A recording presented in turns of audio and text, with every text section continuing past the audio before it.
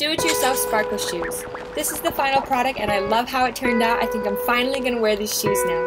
So let's get started. We need shoes, some paper, acrylic paint, glitter, paintbrushes, E6000 spray glue, and Mod Podge.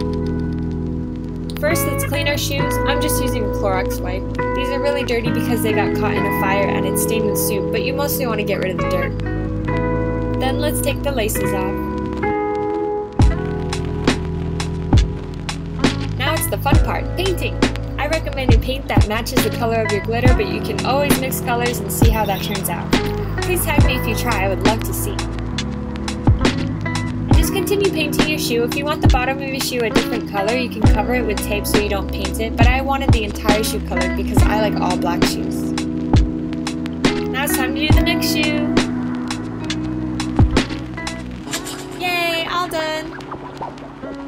After the shoes dry, I recommend doing another coat to get all the missed or lighter areas.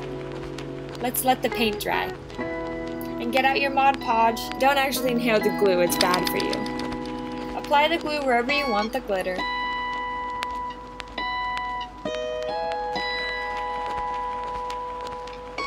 Then simply apply the glitter on the glue. Recommend shaking the glitter on a piece of paper so you can easily slide the glitter back into the container and reuse. And continue the same process all around the shoe until you covered all desired areas.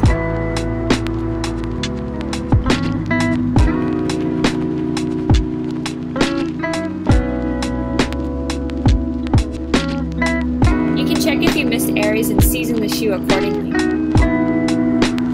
Next, using E6000 spray glue, we are going to spray every inch of the shoe to stabilize the glitter so it won't ever come off. Make sure you spray a good layer to the entire shoe and don't worry about runs because this glue is see-through. The other shoe is the same thing. Glue, sparkle, glue, sparkle, glue, sparkle, then E6000 spray the entire shoe. Let the shoes dry, maybe for an hour. And you have your amazing shoes ready to wear.